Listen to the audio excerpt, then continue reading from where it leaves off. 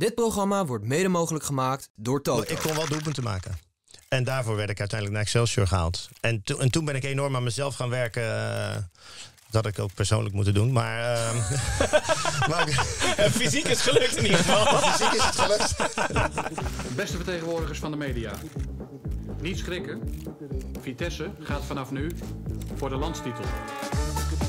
Dat zijn er vier en dan die drie is zeven. 21 is vijf. Groningen speelt twee keer 5-1 verliezen. Waarom stel je dan deze vraag? Ben ik nou degene die zo slim is of ben jij zo dom? Hallo allemaal en goed dat jullie weer zijn aangeschoven bij de persconferentie waarin ik, de perschef Gijs, probeer de journalisten die aanwezig zijn in de zaal enigszins in toon te houden terwijl ze de gast van vandaag eh, hopelijk letterlijk of misschien wel letterlijk en figuurlijk de hem van het letterlijk. Ja, maar als je, als je ziet wat hier naast je zit, dan hoop je alleen dat ze hem Dan word je acuut gay. en zo is het. Ehm, over eigenlijk van alles wat er wel en niet met voetbal te maken heeft. eh, met de gast. En we vullen de vragen aan met vragen van onze luisteraars en of kijkers. Ehm, vandaag voor de persconferentie twee meneren aangeschoven van de derde helft. Redelijk gevulde zaal. Eh, gast is Geert den Oude. En we gaan het met Geert hebben over het leven in het proefvoetbal. Het leven na het proefvoetbal. En het zijn van scheidsrechter als oud-prof. Geert, heb je vaak bij zulke persconferenties gezeten in je actieve voetballoopbaan? Ehm, nee, eigenlijk in, eh, in Nederland niet. Maar in het eh, buitenland, waaronder ook Zweden, moesten ook altijd een paar spelers op een persconferentie op Malta, heb ik dat ook wel gehad, aanschuiven om eh, vragen te beantwoorden. En Nood- dat vond ik, noodzakelijk kwaad of vond je het prima? nee, vond ik altijd prima, want het, want het verkleint de afstand tussen spelers en publiek. En ik vind, we zijn een entertainmentindustrie, dus ik vind dat je dat moet faciliteren. Duidelijk. Vandaar dat je ook hier zit, dankjewel. Dit moet je faciliteren.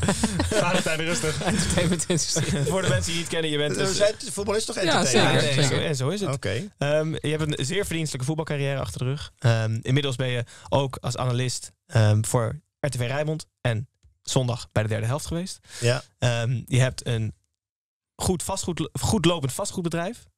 En Ja. je bent scheidsrechter. Daar zullen Ja. we later op terugkomen. Dus dat is voor de mensen die je eventueel niet kennen. Eh, dan gaan we nu over naar het eerste onderwerp. En het eerste onderwerp is het leven als voetballer. Eh, tamelijk recht door zee. Dus ik ben benieuwd naar de vragen vanuit de zaal. Wie Snijboom zie ik daar van de derde helft. Ja, eh, ja, sommige luisteraars zullen het niet weten, maar jij hebt geen opleiding gehad bij een BVO. Wat Nee. was het moment waarop jij dacht: hé, hey, wacht, ik zou wel eens professioneel voetballer kunnen worden? Dat heb ik eigenlijk nooit gehad. Eh, ik ben op een gegeven moment gevraagd toen ik bij de amateurs speelde eh, of ik bij Excelsior wilde komen voetballen. En daarvoor was het eigenlijk alleen maar een soort eh, droom. Dus Denk ik. op, op het moment dat je het werd, was de eerste mom- mo- Ja. moment dat je dacht: oh, dit zou eens kunnen lukken. Ja, ja omdat ik, ik had het. Ik denk dat, ik weet je, ik was. toen ik klein was, luisterde ik altijd naar de radio. We hadden thuis geen televisie, dus ik luisterde altijd naar de, de wedstrijden. Dat vond ik altijd machtig. En op een gegeven moment ga je die wedstrijden wel zien. Dan ga je wel eens naar het stadion. Maar ik kwam bij een amateurvereniging terecht in de tweede klasse. En dan ben je niet zo met het betaald voetbal bezig. Dus, dus het was voor mij eigenlijk een, eh, ik, een verrassing. Ik weet nog dat de trainer naar mij toe kwam en eh, die stelde me wat vragen. En toen dacht ik, waar, waar, waar wil je naartoe? En hij was dus al geïnformeerd vanwege die interesse. En Mhm. eh, nou ja, zo kwam ik ermee na. En toen dacht ik, oké, dit is mijn kans. Hoe, Ja. groot was het, hoe groot was het niveauverschil op je eerste training? Groot, want ik had een technische achterstand. Ik had een tactische achterstand. Ehm, ik eh, waaide bijna, eh, als ik, als ik uit de boom viel, dan ging, kwam ik als een blaadje viel ik naar beneden. Dus ik had fysiek ook nog wel wat te winnen. Maar ik kon, wel- ik kon wel doelpunten maken. En daarvoor werd ik uiteindelijk naar Excelsior gehaald. En, to- en toen ben ik enorm aan mezelf gaan werken. eh, dat had ik ook persoonlijk moeten doen. Maar, ehm, maar Fysiek is gelukt in ieder geval. fysiek is het gelukt. De rest is een stuk later gekomen. Maar ehm, toen ben ik serieus training, als de training afgelopen waren, ging met, dan, met, met een aantal andere spelers, met Damien Hertog en Michiel Sol in die tijd bij Excelsior, gingen we trappen en ik ging aan mijn trap werken en, enzovoort, enzovoort. En toen op een gegeven moment was ik op hetzelfde niveau en ben ik er misschien wel, wel voorbij geschoten op sommige momenten. Geert, hoe belangrijk waren doelpunten voor jou? Ehm, buiten het feit dat ik er niet nerveus van werd als ik een keer een tijdje niet scoorde, was het wel mijn, mijn ding. Omdat ik werd, om dat doelpunt te maken het beste eh, was wat ik kon. Ja, Weet je, en later ben ik ook veel beter geworden doordat ik mezelf ontwikkelde. Eh, en, en kon ik ook eh, heel belangrijk zijn in teambelang. Dus niet alleen maar die bal binnenschieten, maar Maar ook ja, tegen grote tegenstanders in, in de arena of in het Feyenoordstadion dusdanige rol spelen. Ook qua in, in teamspirit en dergelijke. Dat heb ik wel ontwikkeld. Maar, maar doelpunten maken, dat is uiteindelijk waarvoor ik overal naar diverse clubs gehaald ben. Juist. En, en wat doe je als je heel lang droog staat? Rustig blijven. Gewoon ver- vertrouwen. Vertrouwen. voetbal. Op het veld. voetbal. Op het, Ja, ja, nee, precies wat ik zeg. Eh, Ja. Op de training gewoon je, je ding blijven doen. Gewoon in, in de partijtjes scoren zoals je altijd hebt gedaan. Eh, als je zegt van, nou, ik, ik deed dat, maar dat deed ik bij alle clubs. Eh, ging ik ook na de training dan bepaalde oefeningen waar ik mezelf een paar tien ballen gaf en dan kapte ik hem terug en dan schoot ik honderd keer naar die verre hoek. Elke keer opnieuw, gewoon om, die, om die vastigheden erin te slijten. En niet in paniek harder gaan schieten of dat soort dingen. Dat, dat deed ik niet. Ik vertrouwde op wat ik kon. En, en dat leverde dan op dat ik wel eens tien wedstrijden achter elkaar scoorde. En ook wel eens eh, zes wedstrijden niet. Ja, dat gebeurde wel eens. Ik heb begrepen dat je ooit bijna eh, de derde aanvaller was in een aanval met Robben en Ribéry. Klopt dat? Eh, dat had op dat moment, als ik die beslissing eh, genomen had, had dat technisch gekund in een eh, gek geval. Ja, Louis van Gaal heeft mij gevraagd om bij het tweede van Bayern München te komen. Toen ik terugkwam uit de Verenigde Staten. En eh, daar heb ik toen nee tegen gezegd. Ik begrijp, nu, ik, begrijp, ik begrijp waarom ik toen nee heb gezegd. Maar achteraf dacht ik van ja, eh, je had ook scheid moeten hebben.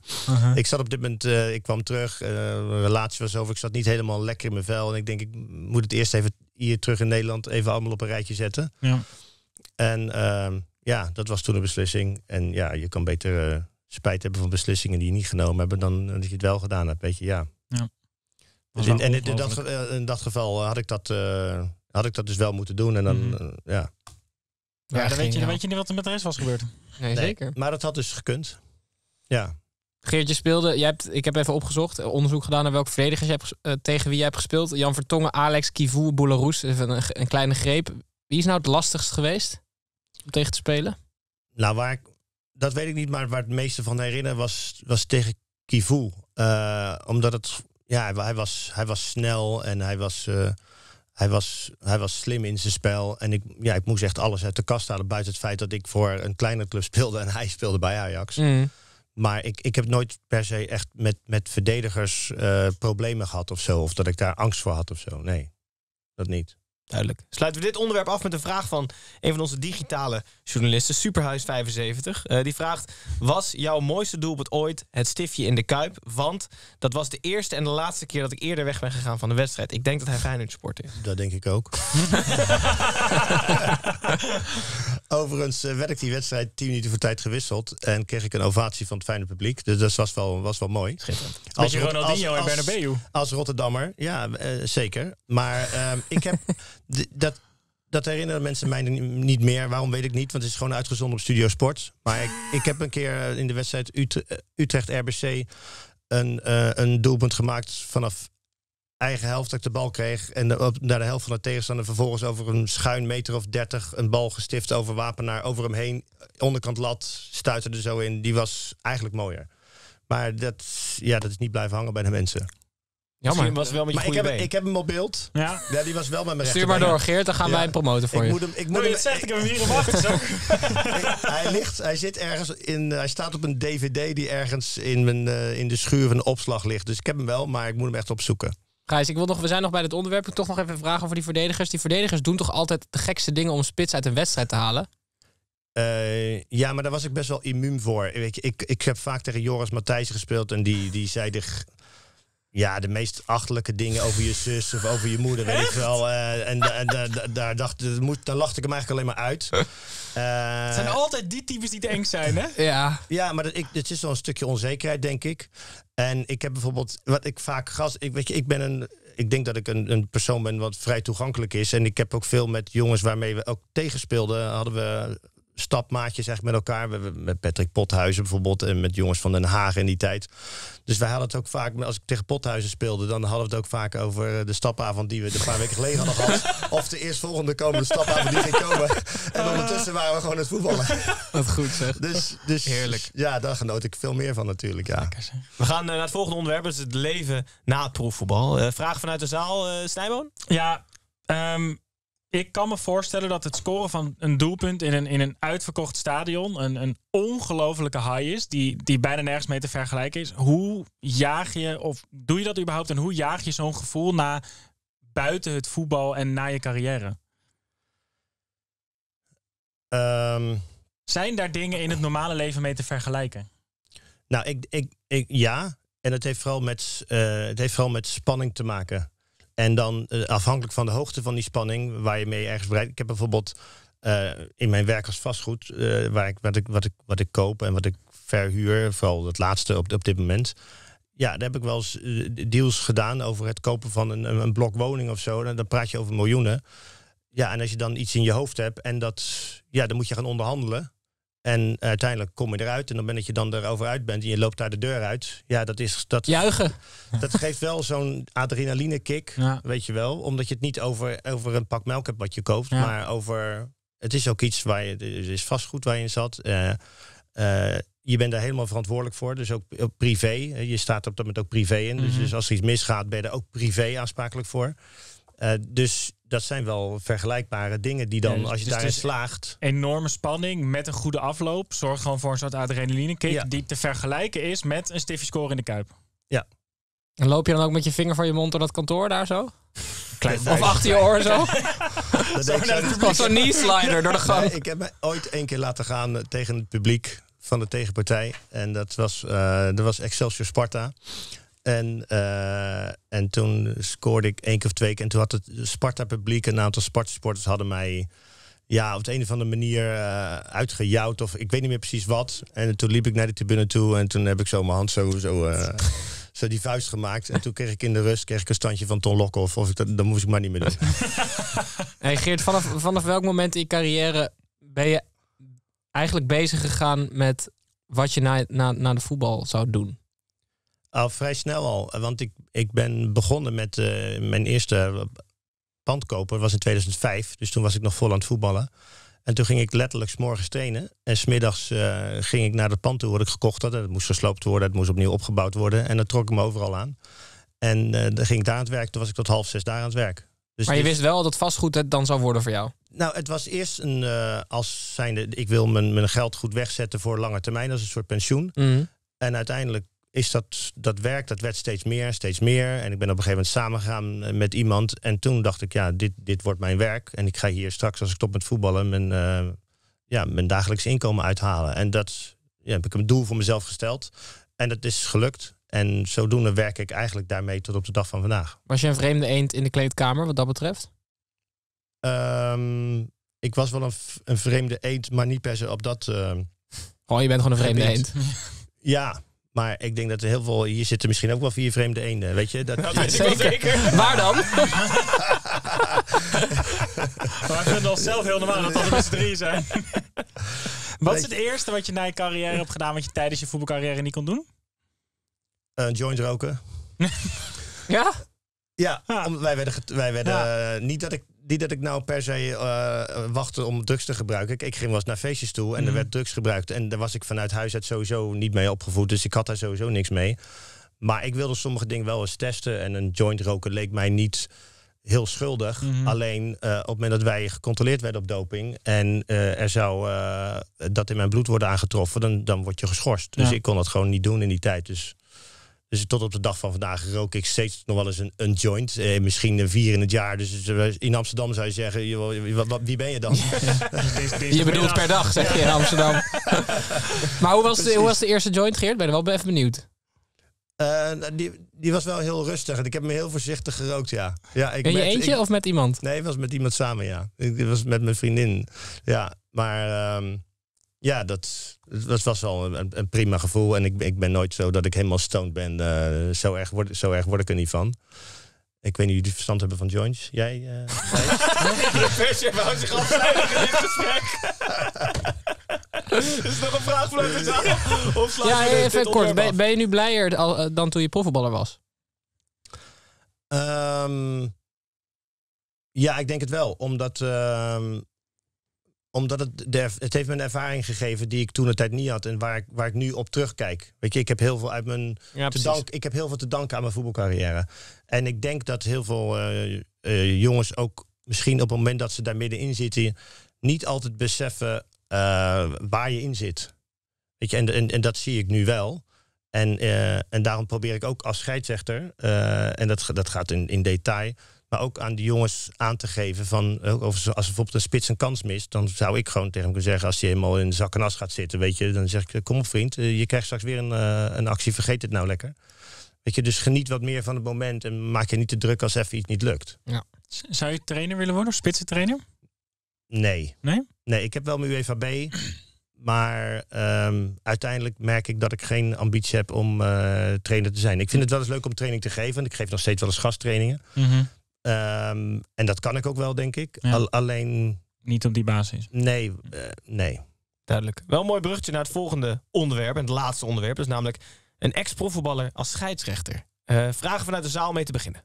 Ja, ik vind het heel interessant dat je met het imago wat scheidsrechters hebben in Nederland eh, en jouw hele lange carrière in profvoetbal, dat je hebt besloten om te gaan fluiten. Wel, hoe is dat zo gekomen? Nou, ik heb eh, toen ik aan het voetballen was, floot ik al af en toe wedstrijden. En dat, dat is, ik ga er niet over uitweiden hoe die ontstaan is, want dat is, zonde van de tijd. Dat is een andere keer. Maar eh, ik had daar aanleg voor en de KVB vond dat ik daar aanleg voor had. En die zeiden, oké, we willen je graag eh, in het talententraject halen om te kijken of je de Eredivisie kan halen.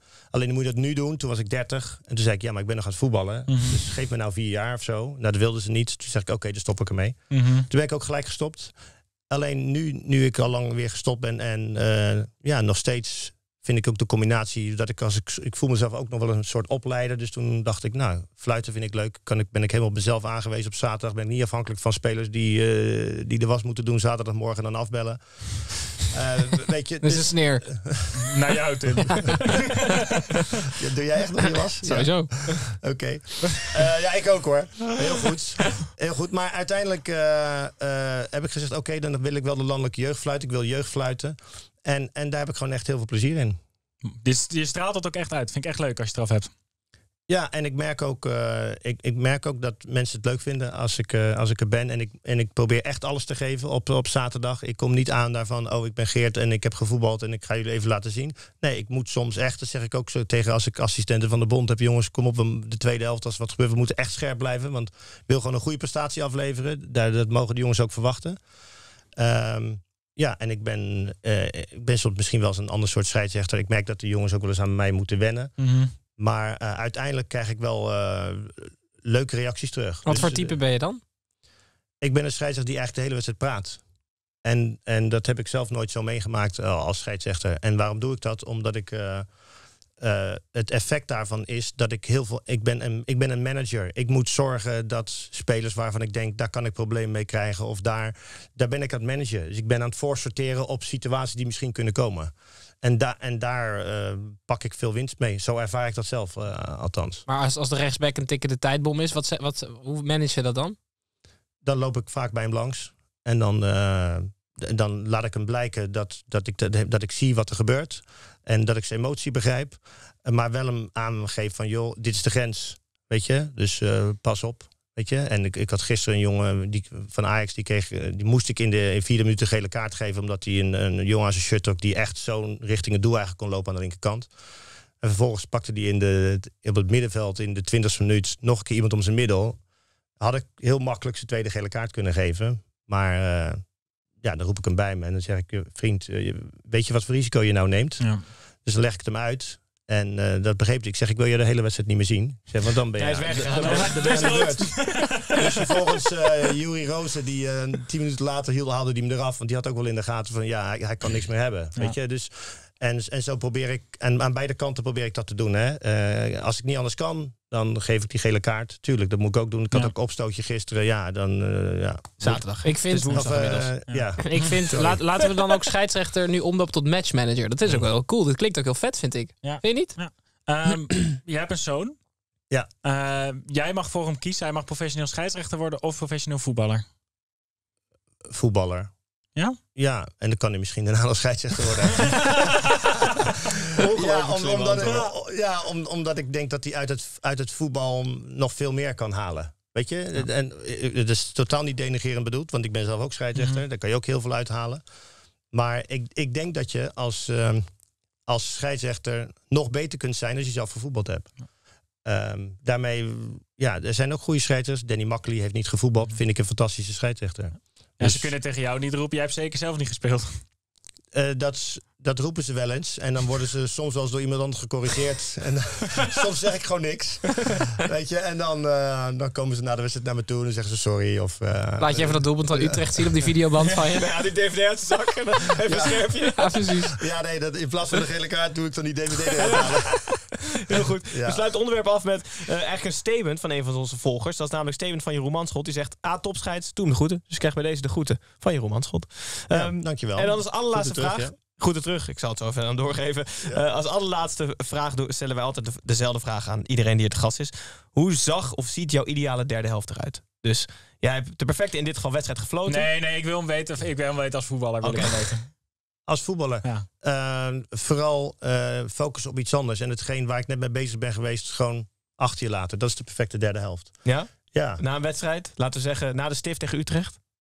ja gewoon eh, het moment daar laten en iets gaan doen met je vrienden. Gewoon het even voetbal even vergeten en lekker wat anders gaan doen. Ja, dat was Maar mijn... wat voor dingen doe je dan? Eh, op stap gaan, eh, ontspannen. Ik Nog had- een keer op stap. Ja, nee, maar bijvoorbeeld eh, eh, kijken wat je kan doen. Ik speelde in de Verenigde Staten en hadden wij een wedstrijd gespeeld. En eh, toen wilde ik eigenlijk naar de Indy 500. eh, en wij waren natuurlijk altijd on the road, dus dan moest je lange stukken rijden. En dus ik had aan eh, Sonny Siloor, die was trainer, gevraagd... "Joh, trainer, mag ik eh, na de wedstrijd eh, gelijk door naar eh, Indianapolis rijden... om daar de Indy 500 te gaan kijken. Gewoon voetbal even achter je laten en leuke dingen doen. Dus in die 500, dat, dat is alleen maar dat ovaaltje afhalen Ja. of niet? Ja, dat is alleen Ja. maar dat ovaaltje. Ja. Ja. Ja, het is niet een ovaaltje. Dat, eh, het is... eh, het, Ik heb het weinig is- met autosport, dat merk je misschien al. Ja, ja, ja. Ja, het is- is IndyCars. Het is eh, in- het laatste weekend van mei altijd, volgens mij. Ga maar een keer kijken. 500. Arie Luijendijk. Arie Luijendijk, zeg je niks? Snijboon. Oeh. Arie. Twee, tweevoudig winnaar van de Indy 500. De man is een held in de Verenigde Staten. Hier is het laatste woord nog niet over gesproken, Stijl, maar dat gaan we doen het mij ligt wel. na de persconferentie. Eh, journalisten, dank jullie wel dat jullie aanschoven. Jij bedankt, Geert, dank is groot. Uh, kijkers, luisteraars, jullie ook bedankt. En zoals jullie weten, elke dag tot het WK kan je eh, de details van een ander land horen. Dus komt dat zien en komt dat luisteren. Dan zien we jullie waarschijnlijk morgen of de dag daarna. Dankjewel.